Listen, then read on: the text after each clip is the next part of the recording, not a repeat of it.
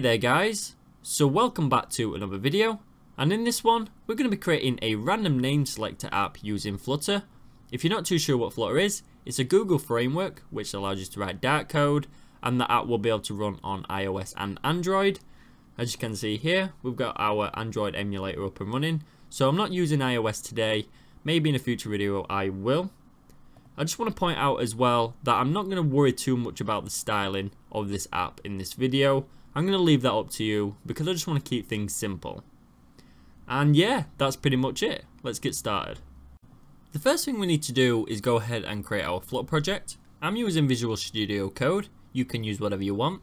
I'm going to open up a new terminal and navigate to my Documents folder. This is because this is where I want my uh, project to be. And to create a Flutter project, it's Flutter create. We're going to add Android X compatibility. So if you want to use Firebase in the future or something like that, it's going to allow you to add it. Because if you don't add this, it's going to be an absolute nightmare. And then we need a project name. I'm just going to call this uh, name selector. Call it whatever you want. Press enter. And then it's going to create our project. Now that we've created the project, we can go ahead and open it up. I'm going to go to open folder and it is name selector, select that folder. We're going to open up the lib folder now and go into main.dart and you can see here that we've just got some random code already generated. Uh, I'll run this and just show you what it does. So let's open up a new terminal and type in flutter run, press enter and that's going to run on our emulator.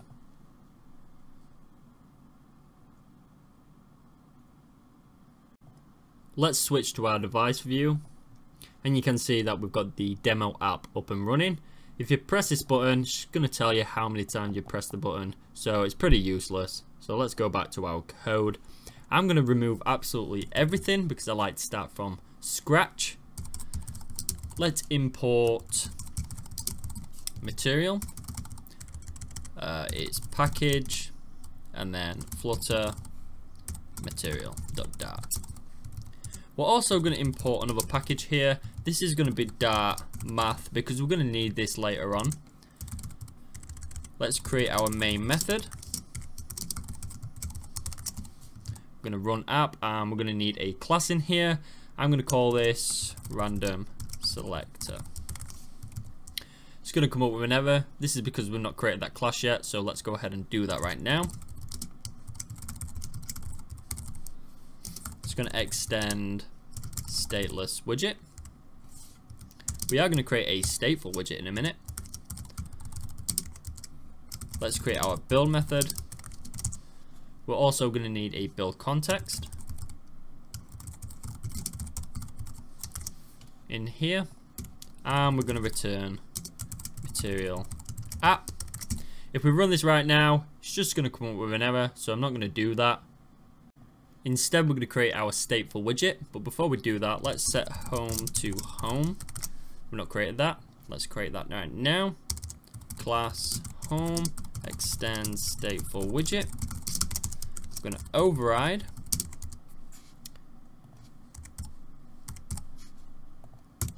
state stateful widget going to create state.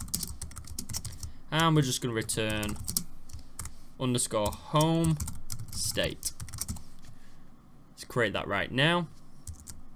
Class. Home. State. Extend state. Home. Which is here. And then we're going to override again and create our build method. This is going to need a build context.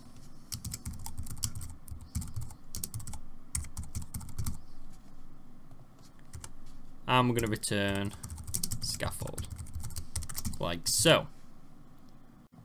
Now we have the structure of the app all set up, we can actually go ahead and add some widgets, but before we add any major widgets, I'm just going to set a app bar, and this is going to be a app bar widget.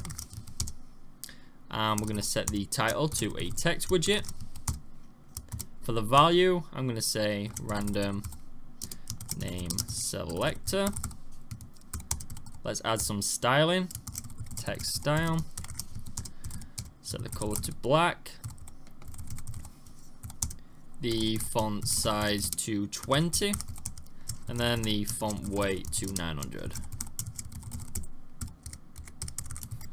Like so. Let's change that. We're also going to center this title, and that's pretty easy to do. Let's set center title to true. We're also going to change the background color of this app bar to white. Alright, let's save and refresh. And now we've got a nice looking app bar at the top. Now we're going to add our list view and for the time being it's just going to be a list view with hard-coded uh, data in there just for the time being but later on we're going to change this so it's dynamic but I do need a list view for the time being um, just to get this app up and running. And to do this we need to go into body and we're going to create a column for the children. We're going to add a expanded widget. This just fills in the empty space. And for the child this is going to be a list view. And for that we're going to add some children. Let's add a list tile just for the time being and set the title to a text widget. Name one. I'm going to copy this a couple of times just to save some time. Like so. Name one, name two, and name three. Let's go back to our emulator and refresh. And you can see here that we've got our list view Let's go ahead and add our other widgets. So let's go to our column. We're gonna add another expanded widget. And for the child, it's gonna be padding. Let's set the padding to this. Edge insets all. Set that value to 20. For the child, it's gonna be a column. I'm gonna set some properties here. So the main axis alignment is gonna be end. And then the cross axis alignment is going to be a stretch. Alright. Set the children. First one's going to be a text widget. Let's set the value here to add new name. I'm going to add some style into that. Color. Colors dark black. And then the font weight font weight. We're going to set this to 600. Let's add a row. Set the children. The first one's going to be expanded. Set the child to uh, text field. This is where we're going to import our new name. Set the decoration. To input decoration. Content, I hate it when it doesn't auto suggest. I don't know why it does that. Content padding. This is going to be edge insets dot only. Set the top padding to 10 and then the bottom also the same. Okay, and we're going to set is dense to true. Alright, so we've got our expanded widget. Let's add a raised button. The child is going to be text. And this is just going to be add. On pressed. We're not going to do anything with this just yet. But this button is, when you click it, it's going to add this, um, this new name to the list and uh, yeah, so we've done all that. Now we need a random name button and what this essentially does, you tap that button, it's going to tell you a random name out of that list. And um, so under row, we're going to add a builder and you may be confused uh, why we're adding a builder. This is because we want to show a snack bar with the uh, random name and this is the only way to do it because um, unfortunately for some reason uh, if you want to show a snack bar you need the context and it can't find the scaffold context unless you have the builder. So it's a little bit confusing. Uh, again, I do apologize for that. So let's set the builder to, we need the context. It's going to be a raise button. This is where our button's going to be. This is all we need. Let's set the child to a text widget. Get random uh, name. All right. On pressed. I'm not going to do anything with this just yet. I'm going to do all that later on. And uh, let's just see how it looks in our emulator. Let's refresh. And there we go. So we've got our text field, we've got our add button right here, and then get random name. Now we're going to go ahead and create our list, and that list is going to be full of names. And we're also going to need a text editing controller that we can set to our text field. And uh, yeah, so let's go to the top here. Um, we're going to create a list. List. This is going to be uh, with a type of string. We're going to call this name. It's going to be equal to an empty list. So let's add some values in here. So the first one's going to be Jonathan. Next one's going to be uh, Billy. Lucy. And then Bob. Alright. Let's create a text editing controller. We're going to call this name controller equal to text editing controller. Like so. Alright, so let's assign this name controller to our text field, which is right here. Controller, uh, name controller. I'll show you what this does in a little bit. We're going to change this uh, list view to a list view builder.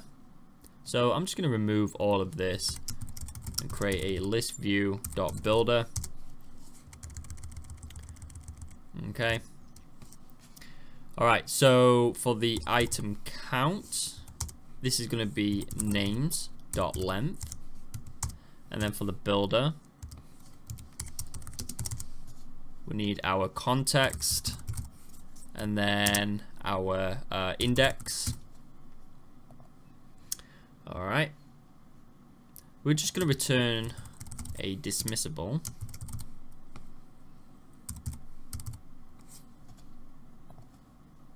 Rid of this. For the key, it's going to be a unique key. And then on dismissed,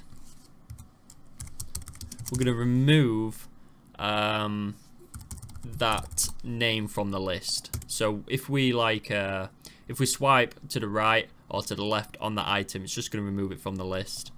Uh, so we're going to set state names dot remove at index. Like so. Uh, for the child this is going to be a list tile. And then the title is going to be text. And this is just going to be names index Alright, let's just go back to our emulator. Refresh this. And there we go, we've got our list of names. We now need to create a method called add to list and that method's going to check if the text field is empty. If it's not empty, it's going to add that name to the list and then the list view. So let's go to the bottom and create this right now. It's going to be a void because it's not returning anything. Add to list. All right, we're going to do an if statement. So if name controller dot text dot is not empty, then we're going to add it to the list, but we need to set state. Basically, this is just like refreshing it names.add name controller dot text. This ain't going to work yet because we need to add it to our onPressed um, functionality here. Add to list.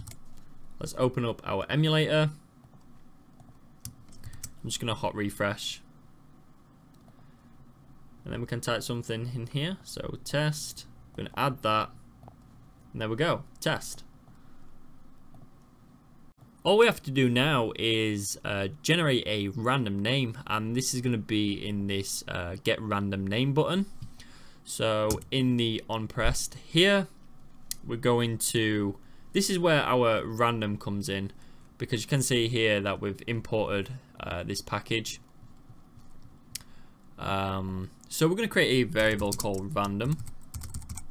It's going to be equal to a random instance. Alright, and now we're going to create a scaffold. Uh, excuse me, we're going to create a snack bar. And what a snack bar is, is basically a little uh, widget at the bottom that pops up uh, with some text inside it. So, um, I'm going to type scaffold of. It's going to need a context show snack bar. Now we're going to add a snack bar widget. Snack bar. The content is going to be a text widget. I'm going to set this here to random name is, and then we're just going to concatenate names. Random dot next int. And then this is going to be uh, names dot length like so Alright, let's see how it's working. So I'm going to go to my emulator, do a hot refresh. Let's click uh, get random name. Random name is Bob. It's working perfect. And then we'll do it again. Random name is Jonathan. And that is pretty much it. So that's how to create a random name selector in Flutter. I do apologize if this video is all over the place. I'll be honest with you, I try and practice, but I kind of like to go with the flow and see where it takes me. And uh, I'm trying to be more professional in my videos, and sometimes I can be a little bit sloppy, but with all feedback, that will help me uh, tons. But thank you very much for watching. I really do appreciate it. And if you want to see more content like this in the future, feel free to subscribe and ring that bell button. And uh, yeah, have a great day.